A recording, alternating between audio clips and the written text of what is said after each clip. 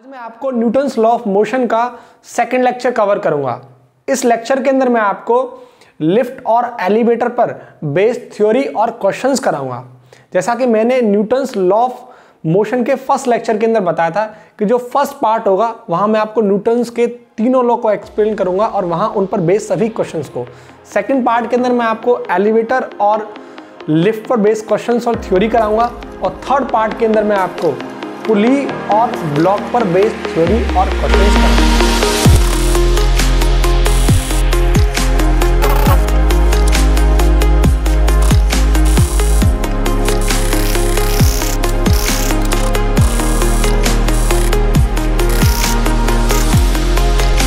अब देखो concept of lift और एलिवेटर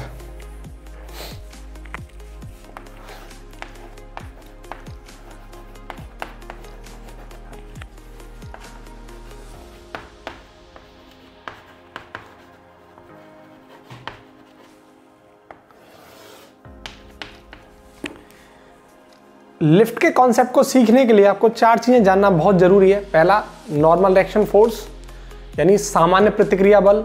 दूसरा वेट ऑफ़ द बॉडी तीसरा नेट फोर्स कुल बल। और फोर्थ है एसलेशन दैट इज़ त्वरण। आपको एसलेशन पता है नेट फोर्स पता है वेट पता है, लेकिन आपको नॉर्मल रिएक्शन फोर्स मैं आपको एक्सप्लेन करता हूँ क्या होता है। ठीक है? Normal reaction force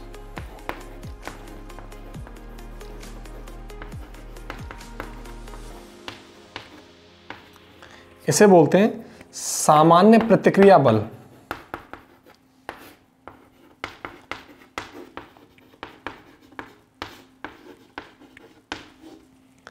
normal direction force को जनरली आप आर से रिप्रेजेंट कर देते हैं और कुछ बुक्स के अंदर इसको एन से भी रिप्रेजेंट किया हुआ होता है। तो आप आर से भी रिप्रेजेंट कर सकते हैं और आप एन से भी रिप्रेजेंट कर सकते हैं। अब होता क्या है? ये वो देखो आप। ये मेरे पास ये देखो, ये मेरे पास एक टेबल है, ठीक है, ये टेबल है। और इस टेबल के ऊपर एक एम मास का बॉडी है एम मास। तो देखो, अर्थ की क्या टेंडेंसी होती है? अर्थ की ये टेंडेंसी होती है कि हर ऑब्जेक्ट को या हर बॉडी को अपने सेंटर की तरफ़ अट्रैक्ट करता है। जब ये सेंटर की तरफ़ अट्रैक्ट करता है तो किसी न किसी फोर्स ही तो अट्रैक्ट करता होगा। वो फोर्स ग्रेविटी फोर्स के बराबर होता है, यानी गुरुत्व बल के बराबर। और ग्रेविटी फोर्स कितना होता है? एमजी ठीक है? और यही ग्रेविटी फोर्स जनरली उस बॉडी के वेट के बराबर भी होता है। क्लियर है? तो देखो, ये जो एम मास का ब्लॉक है एम मास की जो बॉडी है, ठीक है, या ऑब्जेक्ट है तो अर्थ क्या करेगा? इसको अपने सेंटर की तरफ़ अट्रैक्ट करेगा। मानो ये सेंटर है अर्थ का। तो अपने सेंटर की तरफ़ अट्रैक्ट करता है तो किसी न किसी फोर्स से अट्रैक्ट करेगा। वो वो फोर्स क्या कहलाएगा? ग्रेविटी फोर्स क्या कहलाएगा? ग्रेविटी फोर्स से हिंदी में बोलते हैं गुरुत्वीय बल। और वो गुरुत्व बल कितना होता है? एम जी ठीक है एम ये मास है इस ऑब्जेक्ट का बॉडी का। और जी क्या है? एसोलेशन ड्यू टू ग्रेविटी ठीक है, और यही ग्रेविटी फोर्स किसके बराबर होता है? इस बॉडी के वेट के बराबर। यानी वेट ऑफ़ द बॉडी यानी बॉडी का भार दैट इज़ डब्लू ठीक? तो ये वाला कॉन्सेप्ट क्लियर होना चाहिए। ठीक? अब देखो, अब होता क्या है? इसी बॉडी ये जो बॉडी है एम मास की बॉडी और ये जो टेबल की जो सरफेस है, ये वाली सरफेस सतह तो ये सतह क्या करती है? ये सतह इस ग्रेविटी फोर्स के जस्ट अपोजिट डायरेक्शन में एक फोर्स लगाती है। क्यों लगाती है वो मैं एक्सप्लेन करता हूँ। लेकिन पहले देखो कि ये जो सरफेस है, ये इस ग्रेविटी फोर्स के जस्ट अपोजिट डायरेक्शन में एक फोर्स लगाती है, उसको बोलते हैं हम नॉर्मल रिएक्शन फोर्स और ये नॉर्मल रिएक्शन फोर्स इस ग्रेविटी फोर्स के बराबर होती है। ठीक है? और लगाती कहाँ है? जस्ट अपोजिट डायरेक्शन में। ग्रेविटी फोर्स सेंटर की तरफ़ लगेगा अर्थ के सेंटर की तरफ़, और नॉर्मल रिएक्शन फोर्स उससे जस्ट अपोजिट डायरेक्शन में लगेगा। पहला तो पॉइंट ये, कि जस्ट अपोजिट डायरेक्शन में लगेगा। दूसरा, दोनों का मैग्नीट्यूड सेम होगा। क्यों होगा? एक्सप्लेन करता हूँ। तीसरा, जो इंपॉर्टेंट है, वो ये कि ये जो रिएक्शन फोर्स होता है, वो इसी लाइन के अलोंग लगता है, जिस लाइन के अलोंग ग्रेविटी फोर्स लगता है। Toward centre. उसी लाइन के लॉन्ग लगता है या मैं यू बोलूँ ये उस सरफेस के लंबवत होता है यानी उस सरफेस के क्या होता है? परपेंडिकुलर। अब लगता क्यों है? वो देखो आप। ये एम मास का ब्लॉक या एम मास की बॉडी है ठीक है? अब हो क्या रहा है बताओ इस पर ग्रेविटी की ग्रेव, ग्रेविटी फोर्स लग रहा है टू बार्स अर्थ ठीक है? टू बार्स द सेंटर अब ये इस टेबल की सरफेस से नीचे क्यों नहीं आ रहा और? ये टेबल की सरफेस पर ही क्यों रखा है? क्यों? क्योंकि जितने बल से ये इसको अपने सेंटर की तरफ़ अट्रैक्ट कर रहा है, कहीं ना कहीं ऐसा बल ज़रूर लग रहा है जो इसके जस्ट अपोजिट डायरेक्शन में लग रहा होगा। भाई, तभी तो वो बैलेंस हो रहा होगा, तभी तो कोई चीज़ वहीं रखी होगी। जितने बल से इसको अट्रैक्ट किया जा रहा है, उतने ही बल से इसको ऊपर खींचा जाए। तो वो जो बॉडी है, वहीं की वहीं बैलेंस रहेगी, नहीं रहेगी। तो ये इसी के लिए, इसीलिए इस इस टेबल या कुर्सी पर रखी हुई है। ठीक है? कहीं ना कहीं इस सरफेस पर एक और फोर्स लग रहा होगा जस्ट अपोजिट डायरेक्शन में ग्रेविटी फोर्स के, जिसे हम क्या बोलते हैं? रिएक्शन फोर्स तो क्लियर है? ये फोर्स इसलिए लगता है रिएक्शन फोर्स ये इस फोर्स को बैलेंस करने के लिए। ठीक है? क्लियर बात? तो ये हो गया आपका नॉर्मल रिएक्शन फोर्स इसमें जो इंपॉर्टेंट था, ये हमेशा उस सरफेस के लंबवत होता है। दूसरा अपोजिट डायरेक्शन में लगता है ग्रेविटी फोर्स के। तीसरा, दोनों का मैग्नीट्यूड सेम होता है इक्वल वैल्यू होती है। ठीक है, ये तो आपका हो गया रिएक्शन फोर्स अब देखो, यहाँ जो सबसे इंपॉर्टेंट लॉजिक है, जो आगे टॉपिक्स के अंदर मैं आपको कवर कराऊँगा, पहले मैं आपको एक फील देना चाहता हूँ फिजिक्स की, कि हम जो पढ़ेंगे आगे, वो क्या क्या हमको एक्सप्लेन करना है। हमको लिफ्ट के लॉजिक एक्सप्लेन करने हैं, ठीक है? तो देखो लिफ्ट के अंदर क्या क्या पढ़ना है, एक बेसिक आइडिया मैं आपको देता हूँ। ये मान के चलो मेरे पास एक लिफ्ट है, ठीक है? अब देखो, इस लिफ्ट के अंदर एक एम मास की बॉडी है, ये रही एम मास की बॉडी ठीक है? अगर ये लिफ्ट ए एसलेशन से ऊपर की तरफ़ जा रही हो, यानी त्वरण ए से ऊपर की तरफ़ जा रही हो, या त्वरण ए से नीचे की तरफ़ आ रही हो तो आप पहले साइन कन्वेंशन लेना सीखो। साइन कन्वेंशन कैसे लेंगे? तो जिस डायरेक्शन में एसलेशन होगा, उधर वाली वैल्यू सब पॉजिटिव होंगी, और अपोजिट डायरेक्शन में सब वैल्यू कैसी होंगी? नेगेटिव यानी इस डायरेक्शन में जिस डायरेक्शन में एसलेशन होगा, त्वरण होगा, उस डायरेक्शन में सभी वैल्यू कैसी होंगी? पॉजिटिव और अपोजिट डायरेक्शन में सब कैसी होंगी? उसके नेगेटिव पहली बात तो ये साइन कन्वेंशन आपको आना चाहिए। दूसरा, अब देखो, अगर बॉडी ए एसलेशन से मूव कर रही है ऊपर या नीचे तो बॉडी के वेट में चेंज आएगा। कैसे आएगा, वो मैं आगे एक्सप्लेन करूँगा, लेकिन आपको एक फील दे रहा हूँ। पहले आपके माइंड में एक चीज़ क्लियर कर रहा हूँ कि अगर जो बॉडी का जो नॉर्मल वेट है that is M G M G इसे मैं बोल रहा हूँ एक्चुअल वेट क्या बोल रहा हूँ इसको मैं? जो वास्तविक जो बॉडी का जो, इस टाइम मैं हूँ यहाँ तो मेरा जो वेट है वो ओरिजिनल वेट है एक्चुअल वेट है, ठीक है? यानी ये जो डब्ल्यू बराबर जो एम जी है ना, ये क्या है? ये कौन सा वेट है? This is actual weight actual weight इसे हम बोलते हैं एक्चुअल माने वास्तविक वेट वास्तविक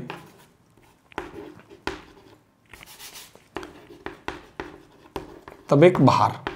क्लियर है? ये है वास्तविक भार। एक होता है apparent weight apparent weight apparent weight जिसे हम बोलते हैं आभासी भार। ये आभासी भार क्या होता है? देखो, जब बॉडी ए एसलेशन से ऊपर की तरफ़ जाएगी या ए एसलेशन से नीचे की तरफ़ जाएगी लिफ्ट के अंदर, तब बॉडी को वेट कम या ज़्यादा महसूस होता है। यानी अगर नॉर्मल बॉडी का वेट 50 किलोग्राम है तो बॉडी का वेट 40 भी फील होगा या 55 और 60 भी फील होगा। वो जो फील हो रहा है, जो नॉर्मल वेट से ज़्यादा जो वेट फील हो रहा है, उस वेट को हम क्या कहते हैं? अपरेंट वेट ठीक है? और उसी को हम हिंदी में बोलते हैं आवासी बात तो मैं आपको ये सब कहाँ एक्सप्लेन करूँगा? आगे जो लिफ्ट के कॉन्सेप्ट सिखाऊँगा वहाँ। ठीक है? तो ये नोट करो, फिर मैं वो एक्सप्लेन करता हूँ। अब देखो केस नंबर वन। जब लिफ्ट ए एसलेशन से ऊपर की तरफ़ मूव कर रही हो, ठीक है? तो when the lift when the lift accelerated upward upward माने ऊपर की तरफ़, ठीक है? तो ये लिफ्ट है ठीक है? और जब ये लिफ्ट ए एसलेशन से ऊपर की तरफ़ मूव कर रही हो, ये हमें केस एक्सप्लेन करना है, ठीक है? तो इस लिफ्ट के अंदर एक एम मास की बॉडी है। ये देखो, ये एम मास का एक व्यक्ति खड़ा हुआ है, ठीक है? ठीक, ये कंडीशन है। और इसका मास कितना है? एम मास है, ठीक है? तो देखो इसका जो बेट है, कहाँ लगेगा इसके सेंटर की तरफ़? और दैट इज़ डब्ल्यू बराबर एम जी बात क्लियर है? अर्थ इसको अपने सेंटर की तरफ़ अट्रैक्ट करेगा। कितने फोर्स से? एम जी से। और उस एम जी क्या होगा? उसी बेट के बराबर डब्ल्यू बराबर एम जी इसी को बैलेंस करने के लिए एक और फोर्स लगता है, जिसे हम क्या बोलते हैं? नॉर्मल रिएक्शन फोर्स क्लियर है बात? अब देखो, जिस डायरेक्शन में एसलेशन है, उसी डायरेक्शन में क्या होगा? टोटल फोर्स ठीक है? तो एसलेशन जिस डायरेक्शन में होगा, उसी डायरेक्शन में फोर्स भी होगा। और वो फोर्स कितना होता है? That is M A mass into acceleration यानी द्रव्यमान इंटू त्वरण। अब मैंने आपको अभी सिखाया था साइन कन्वेंशन के अंदर कि जिस डायरेक्शन में एसलेशन होगा, उसको आप पॉजिटिव लोगे और अपोजिट डायरेक्शन वाले को क्या लोगे आप? नेगेटिव तो देखो, ऊपर की तरफ़ कौन जा रहा है? रिएक्शन फोर्स उसको आप ले लो, ये पॉजिटिव नेगेटिव कौन है? नीचे वाला बेट माइनस एम जी बराबर ये किसके होता है? टोटल फोर्स के। टोटल फोर्स कितना है? एम ए अब देखो ये आर बराबर कितना आ गया? ये पॉजिटिव बन जाएगा उधर जाके तो ये क्या आ जाएगा M G plus M A ये आपके पास आ गया M G plus M A अब आप बताओ वास्तव में जो बॉडी का वेट था वो कितना था? एम जी तो मैं अगर आपसे बोलूँ कि जो एक्चुअल वेट है बॉडी का एक्चुअल वेट यानी एक्चुअल वेट का मतलब वास्तविक भार, वो कितना है? एम है। लेकिन इसी के साथ यहाँ इस कंडीशन में क्या हो रहा है? एक एम ए कॉम्पोनेंट और ऐड हो रहा है। मतलब बॉडी का जो वेट है ओरिजिनल वेट से कुछ न कुछ ज़्यादा हो रहा होगा। तो जो इस, जो इसके अंदर इंसान है एम मास की जो बॉडी है, अगर ये ए लेफ़्ट के अंदर ए एसलेशन से ऊपर की तरफ़ जा रहा है तो इसको अपने एक्चुअल वेट से वेट थोड़ा ज़्यादा फील होगा। उस वेट को हम बोलेंगे अपरेंट वेट तो ये टोटल जो आया ये वाला पूरा का पूरा, ये क्या है? अपरेंट वेट ठीक है? तो मैं बोलूँगा अपरेंट वेट अपरेंट वेट का मतलब आभासी भार। और आभासी भार को मैं किससे रिप्रेजेंट कर रहा हूँ? डब्ल्यू डैश से।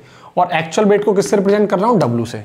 तो देखो, इस केस के अंदर एक्चुअल वेट वो एम है और जो आभासी भार है, वो कितना है? M G plus M A तो बताओ जो अपरेंट वेट होगा, इस केस के अंदर वो क्या होगा? ज़्यादा होगा। भाई, ये सिर्फ़ एम जी और M G plus M A है।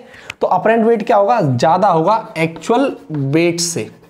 दैट इज़ डब्ल्यू ये बात क्लियर है?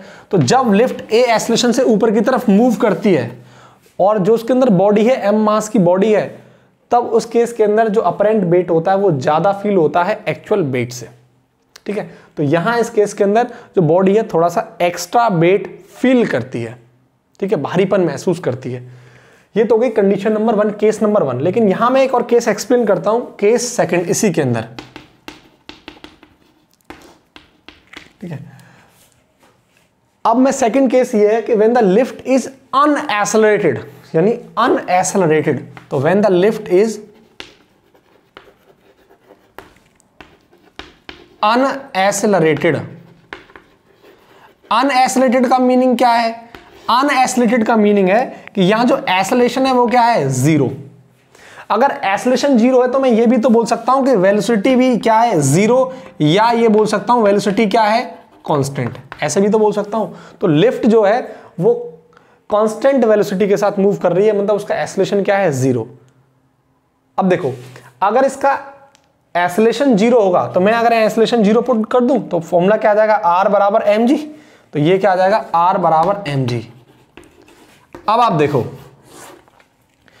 कि जो वास्तव में जो बॉडी का वेट है, ये जो एक्चुअल वेट है दैट इज़ डब्लू वो किसके बराबर होगा अब? अब वो किसके बराबर होगा? अपरेंट वेट के दैट इज़ डब्लू डैश तो इस केस के अंदर जब बॉडी एसलेशन ज़ीरो होती है अनएसलेशन अनएसलेटेड होती है, तब उस केस के अंदर बॉडी का जो अपरेंट वेट होता है, वो किसके बराबर होता है? एक्चुअल वेट के। क्लियर है? तो ये दो केस हो गए। इनको नोट करो, इसके बाद फिर मैं और एक्सप्लेन करता हूँ। अब देखो case number third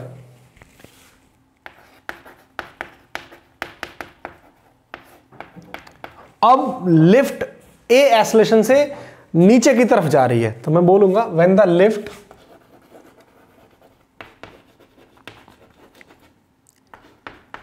accelerated downward accelerated downward यानी ये मेरे पास यहाँ एक लिफ्ट है, ठीक है? और ये कहाँ जा रही है? डाउनवर्ड जा रही है ए एसलेशन से। और यहाँ एक एम मास की बॉडी है, ठीक है? और इसका मास कितना है? एम अब देखो, मैं आपको साइन कन्वेंशन बताया था कि जिस डायरेक्शन में एसलेशन वहाँ सब वैल्यू पॉजिटिव और उससे दूसरी डायरेक्शन में सब वैल्यू नेगेटिव अब देखो, जिस डायरेक्शन में एसलेशन होगा, उसी डायरेक्शन में क्या होगा?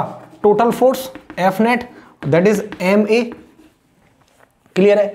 अब देखो, ये जो एम मास की बॉडी है अर्थ इसको अपने सेंटर की तरफ़ अट्रैक्ट करेगी कितने वेट से? ग्रेविटी वेट से ग्रेविटी फोर्स से, और वो क्या होगा? एक्चुअल वेट के बराबर दैट इज़ एम जी और इसको बैलेंस करने के लिए इसकी सरफेस तुरंत एक फोर्स लगाती है. That is reaction force normal reaction force clear अब देखो आप, जो पॉजिटिव है उसको लो अपवर्ड में नेगेटिव है, उसको टोटल फोर्स के बराबर रख दो. तो देखो पॉजिटिव कौन है? एम जी ये नॉर्मल एक्शन फोर्स नेगेटिव बराबर टोटल फोर्स एम ए के बराबर पुट कर दो. अब आप देखो, एक काम करो एम इधर की तरफ़ आ जाएगा तो M G minus M A बराबर क्या हो जाएगा? आर अब आप यहाँ देखो। एमजी जो होता था सिर्फ़ और सिर्फ़ एम इसको ही मैं क्या बोलता था? मैं इसको बोलता था एक्चुअल वेट जिसे मैं डब्ल्यू से रिप्रेजेंट कर रहा था। एम के साथ कुछ जुड़ रहा है या कुछ घट रहा है, उस पूरे को मैं क्या बोलता था? अपरेंट वेट ठीक है? तो यहाँ जो दिख रहा है आपको M G minus M A ये क्या है? W dash that is apparent weight तो आप यहाँ क्या देख रहे हैं? अब ओरिजिनल वेट में से एक्चुअल वेट में से कुछ चीज़ें घट रही हैं।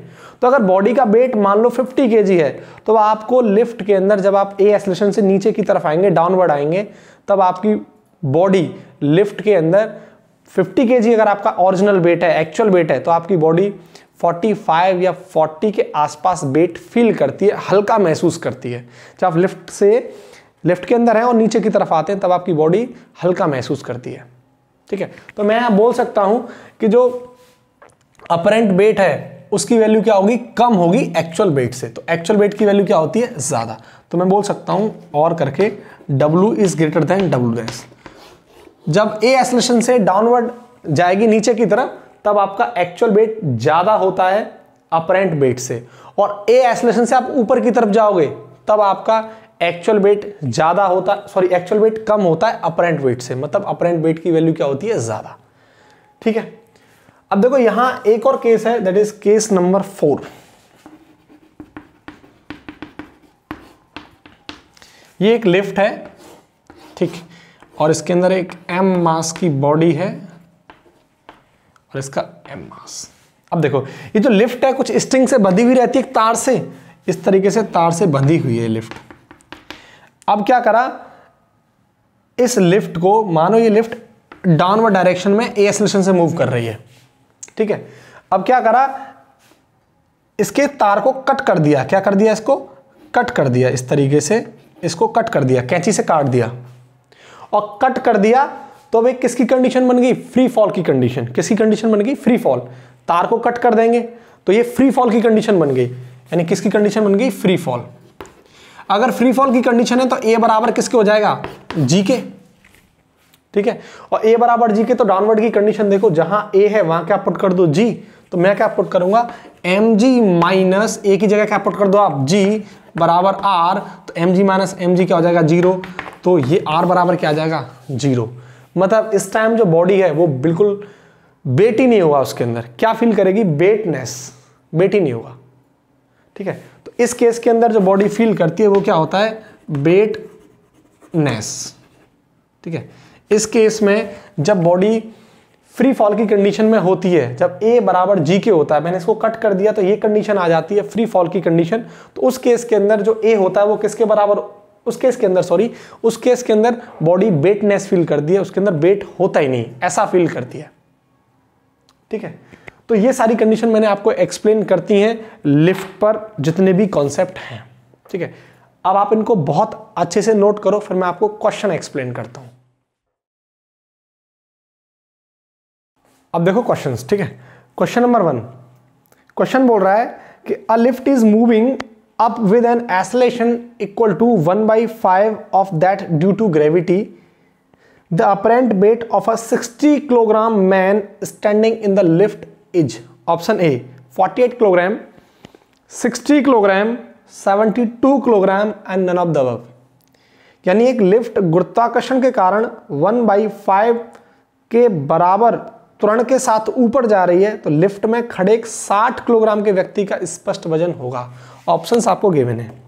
यानी देखो सिंपल ये बोल रहा है कि आपके पास ये लिफ्ट है और लिफ्ट के अंदर एक इंसान है, यानी एक ह्यूमन बीइंग एक बॉडी है, ऐसे ये बॉडी है, ठीक है? ठीक। और बोल रहा है ए एसलेशन से ऊपर की तरफ़ जा रही है। और जो एसलेशन दे रखा है, वो दे रखा है one by five times of acceleration due to gravity. ये है आपको गिवन। तो क्या बोल रहा है सवाल के अंदर हमसे कि अपरेंट वेट बताओ कितना होगा? अपरेंट वेट, यानी आवासी वार, जैसे मैं डब्ल्यू डैश से रिप्रेजेंट कर रहा था। तो ऊपर हम जब जा रहे थे तो हमारा डब्ल्यू डैश कितना होता था? M G plus M A अब देखो ए की वैल्यू कितनी है? जी वाई फाइव तो M G plus M G by five M G की वैल्यू कितनी है? यानी बेट उसका कितना दे रखा है? उसका बेट गिवन है आपको 60 किलोग्राम क्वेश्चन के अंदर। तो यहाँ वैल्यू पुट कर दो। यानी डब्ल्यू डैश बराबर एम जी कितना है? 60 प्लस ये एम जी कितना? 60 बाई फाइव तो देखो कैंसिल 12 टाइम्स तो 60 और 12 कितना होता है? 72 किलोग्राम यानी उसको जो अपरेंट वेट होगा, वो कितना होगा? 72 किलोग्राम उसका एक्चुअल वेट जो था वो 60 किलोग्राम था, अब उसको जो वेट फील होगा, ऊपर जब ए एसलेशन से जाएगा तो भाई, अब ऑब्वियसली बात है अप्रेंट वेट इंक्रीज होगा, वो कितना होगा? 72 किलोग्राम उसको फील होगा, ठीक है? अब देखो सेकंड सवाल। सेकंड सवाल है in an elevator moving vertically up with an acceleration g, the force exerted on the floor by a passenger of the mass m is option a mg option b 1 by 2 mg option C zero option D two M G यानी एक त्वरण जी के साथ लंबवत रूप से बढ़ते हुए एलिवेटर में द्रव्यमान के यात्री द्वारा फर्श पर लगाया गया बल। ठीक है? तो हमसे ये बोल रहा है सेकंड क्वेश्चन कि ये लिफ्ट है, ठीक है। इसके अंदर एक बॉडी है, ठीक है। इसका मास एम है, ठीक है। और ए एसलेशन से ऊपर की तरफ़ जा रहा है, और उसकी जो वैल्यू दे रखी है वो कितनी दे रखी है? जी ठीक है एसलेशन की वैल्यू कितनी दे रखी है उसने? जी अब हमसे बोल रहा है, सवाल के अंदर उसने फाइनल में हमसे पूछा है कि the force exerted on the floor by a passenger force कितना एग्जर्ट होगा उस पैसेंजर के द्वारा? उस फर्श पर। ठीक है? ये हमसे निकलवा रहा है। तो देखो, जब ए एसलेशन से ऊपर की तरफ़ जा रहा है तो इसके फर्श पर इसको बेट क्या लगेगा? भारी फील होगा। क्योंकि ऊपर की तरफ़ जा रहा है तो अपरेंट बेट इसका इंक्रीज होगा। वो कितना होगा? W S M G plus M A ठीक है? इस बॉडी का जो वेट है वो कितना हो जाएगा? डब्ल्यू बराबर एम जी एक्चुअल वेट और एम ए से ऊपर जा रहा है नेट फोर्स से। तो देखो आप ए की वैल्यू कितनी दे रखी है उसने? जी तो ये क्या हो जाएगा? एम जी प्लस एम और ए की जगह पुट कर दो आप। जी अब आपका क्या हो जाएगा? M g plus m g क्या हो जाएगा? टू एम जी तो उसको फ़र्स्ट पर कितना फोर्स फील होगा? टू एम जी ठीक है? तो आपका ऑप्शन डी इज़ करेक्ट ठीक है? अब देखो नेक्स्ट क्वेश्चन इनको नोट करो, फिर वो एक्सप्लेन करता हूँ। अब देखो नेक्स्ट क्वेश्चन क्वेश्चन बोल रहा है कि a pendulum bob is suspended inside a lift moving upward with constant velocity if the mass of the bob is 50 kilogram sorry 50 gram not kilogram 50 gram then its weight inside the compartment is zero zero point one, zero point five newton और zero point zero five newton. यानी एक pendulum Bob निरंतर bag के साथ ऊपर की ओर बढ़ते हुए लिफ्ट के अंदर निलंबित होता है। यदि बॉब का द्रव्यमान 50 ग्राम है तो डिब्बे के अंदर इसका वज़न है। तो देखो, यानी लिफ्ट है, ठीक है थर्ड क्वेश्चन ये लिफ्ट है और इस लिफ्ट के अंदर एक बॉब है। और वो बॉब क्या हो रही है? सस्पेंड हो रही है इस तरीके से, घूम रही है इस तरीके से, ठीक है? और उसने क्वेश्चन के अंदर आपको गिवन दिया है कि उस बॉब का जो मास है वो कितना है? 50 ग्राम। तो मास ऑफ़ बॉब कितना है? 50 ग्राम। क्लियर है? और ए एसलेशन से ऊपर की तरफ़ जा रही है। क्या जा रही है? ए एसलेशन से ऊपर की तरफ़ जा रही है। तो हमसे बोल रहा है कि अब ये कंपार्टमेंट के अंदर कितना वेट फील करेगी? क्लियर है? तो देखो सिंपल कांस्टेंट वेलोसिटी के साथ मूव कर रहा है। बहुत इंपॉर्टेंट कंडीशन उसने दी है कि कांस्टेंट वेलोसिटी के साथ भी मूव कर रहा है। ठीक है? तो देखो क्लियर है लॉजिकली कि ऊपर की तरफ़ जा रहा है तो जो इसका अपरेंट वेट होगा वो क्या होगा? M g plus m a लेकिन उसने सवाल में क्या दिया है? कांस्टेंट वेलोसिटी के साथ मूव कर रहा है। तो एसलेशन क्या हो जाएगा? ज़ीरो भाई कांस्टेंट वेलोसिटी के लिए एसलेशन ज़ीरो तो पूरा सिस्टम क्या हो गया? ज़ीरो तो डब्ल्यू डैश कितना आ जाएगा? एम जी और मास ऑफ़ द बॉब कितना दे रखा है? 50 ग्राम और ग्राम से किसमें कन्वर्ट करोगे? किलोग्राम में. तो किलोग्राम मतलब 10 to the power minus three और जी की वैल्यू आप 10 पुट कर दो. तो बहुत इंपॉर्टेंट कंडीशन पता है यहाँ कि हम जल्दबाजी में ग्राम को किलोग्राम में कन्वर्ट नहीं करते और आंसर कहीं ना कहीं गलत हो जाता है. तो आप ग्राम से किसमें कन्वर्ट करोगे? किलोग्राम में. अब इसको सॉल्व कर दो, ये आ जाएगा 50 into ten to the power minus two और जिसको आप सॉल्व करोगे तो इसका आएगा ये zero point five newton clear है? तो option c is correct clear है? अब देखो नेक्स्ट क्वेश्चन क्वेश्चन बोल रहा है, बिल्कुल थियोरिटिकल क्वेश्चन है। A boy whose mass is 40 kilogram stand in a lift the force experienced by the boy leg will be maximum while the lift option a is standing stationary option b is moving downward with velocity of four metre per second option c is moving downward with an acceleration of four metre per second square और option d is moving upward with an acceleration of four metre per second square तो ये बोल रहा है, एक boy lift के अंदर खड़ा हुआ है और उसका मास दे रखा है 40 किलोग्राम। तो बोल रहा है कि जो फोर्स मैक्सिमम, ठीक है, कब एक्सपीरियंस होगा लिफ्ट के अंदर? जब लिफ्ट खड़ी हुई हो, नॉर्मली बिल्कुल खड़ी हुई है, वो मूव नहीं कर रही है, स्टेशनरी है, स्थिर है। ऑप्शन बी, जब वो डाउनवर्ड वेलोसिटी से मूव कर रही हो, फोर मीटर पर सेकंड से। तीसरा ऑप्शन, जब वो four metre per second square acceleration से डाउनवर्ड मूव कर रही हो और जब वो four metre per second square acceleration से अपवर्ड मूव कर रही हो तो अब देखो, उसको वेट कब ज़्यादा फील होगा? अब ऐसी बात है, उसे तब वेट फील होगा जब वो ए एसोलेशन से ऊपर की तरफ़ मूव कर रही होगी। तो ऑप्शन इसका आपका क्या है? डी इज़ करेक्ट तो four metre per second square acceleration जब वो ऊपर की तरफ़ जा रही होगी तो जब आपका अपरेंट वेट क्या होगा? ज़्यादा। तो ऑप्शन डी इज़ करेक्ट ठीक है? थियोरटिकल सवाल था, बिल्कुल।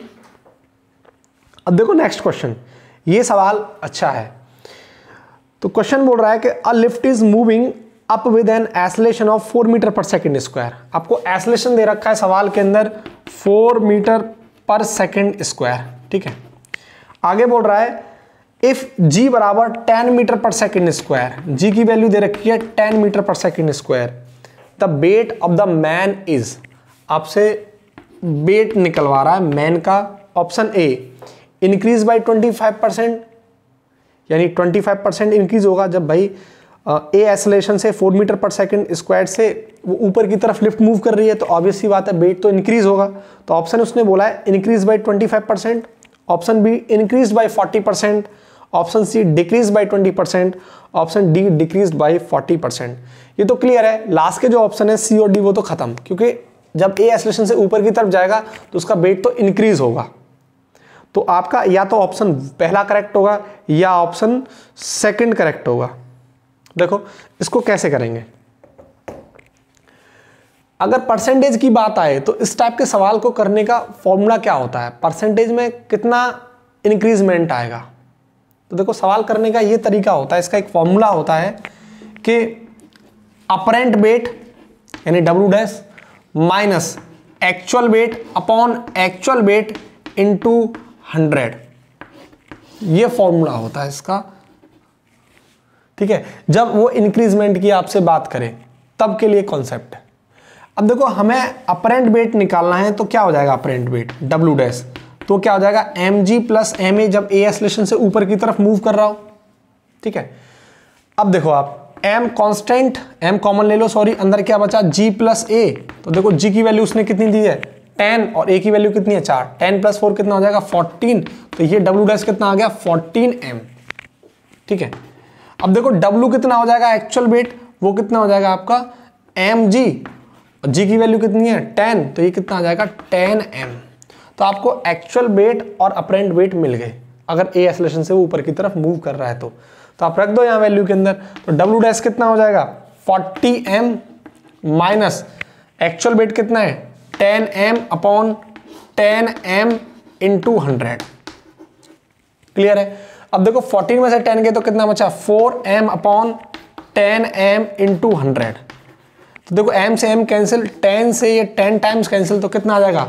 40 परसेंट यानी ये 40 परसेंट से इसका वेट इंक्रीज होगा। क्लियर है? बस आपको यहाँ फॉर्मूला याद रखना है इंक्रीजमेंट के लिए कि जो actual weight minus sorry apparent weight minus actual weight upon actual weight into hundred percent जब परसेंटेज की बात करे वो आपसे, ठीक है? तो आपका आंसर कितना होगा कि वो फोर्टी परसेंट से उसका वेट इंक्रीज करेगा। ठीक है? ये नोट करो, फिर मैं आगे एक्सप्लेन करता हूँ। अब देखो next question a man mass 50 kilogram is in an elevator or lift with it, with is moving up with acceleration 0.49 metre per second square यानी एसलेशन दे रखा है उसको 0.499 मीटर पर सेकंड स्क्वायर और मास दे रखा है उस मैन का 50 किलोग्राम और ये लिफ्ट के अंदर है और ये ए एसलेशन से लिफ्ट कहाँ जा रही है? ऊपर की तरफ़. क्लियर है? तो हमसे बोल रहा है find the normal reaction exerted by the man on the floor of the elevator elevator के फ्लोर पर वो जो नॉर्मल रिएक्शन फोर्स लगेगा मैन के द्वारा, वो हमें बताना है। तो option a two one four point five newton option b three one four point five newton option c four one four point five newton और option d five one four point five newton ठीक है? तो ऊपर की तरफ़ जा रहा है तो हमें नॉर्मल रिएक्शन निकालना है तो आर बराबर क्या हो जाएगा? M g plus m a देखो एम कितना दे रखा है उसने? 50 किलोग्राम और जी की वैल्यू 9.8 ले लो आप प्लस एम कितना है? आपका 50 ए कितना है? 0.49 जब आप इसको सॉल्व करोगे तो ये आएगा करीब 514 514.5 न्यूटन। ठीक है? तो इसका सिंपल सा है नॉर्मल रिएक्शन पूछा आपसे, जब सॉल्व करोगे तो इसकी वैल्यू आएगी five one four point five newton ठीक है? अब मैं आपको जो नेक्स्ट नेक्स्ट सवाल दे रहा हूँ, बहुत ही अमेजिंग सवाल है और आपको करके बताना है। और आप कमेंट में, आप मुझे इसका आंसर बताओगे। ठीक है? और नेक्स्ट वीडियो के अंदर इसका जो नेक्स्ट पार्ट आएगा पार्ट नंबर थ्री वहाँ मैं इसको एक्सप्लेन करूँगा। ठीक है? तो क्वेश्चन बहुत अच्छा है। तो क्वेश्चन बोल रहा है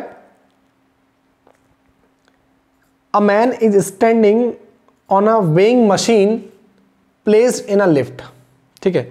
When stationary his weight is recorded as 40 kilogram if the lift is accelerated upward with an acceleration of 2 metre per second square then the weight recorded in the machine will be option a 48 kilogram option b 32 kilogram और option c 64 kilogram option d 80 kilogram पहले तो आप यहाँ एक चीज़ देखो। Question तो करना ही है आपको, लेकिन आप एक यहाँ चीज़ देखो, एक वर्ड आया वेइंग मशीन वेइंग मशीन का मतलब क्या होता है? वेइंग मशीन देखो, ये लिफ्ट है और लिफ्ट के अंदर ये वेइंग मशीन है। और इस वेइंग मशीन पर कोई एम मास का बॉडी या मैन खड़ा है, ठीक है? एम मास का। वेइंग मशीन का काम होता है वेट को मेजर करना, पर वास्तव में वो वेट को मेजर नहीं करता। वेइंग मशीन का काम होता है आपका रिएक्शन फोर्स को मेजर करना, ठीक है?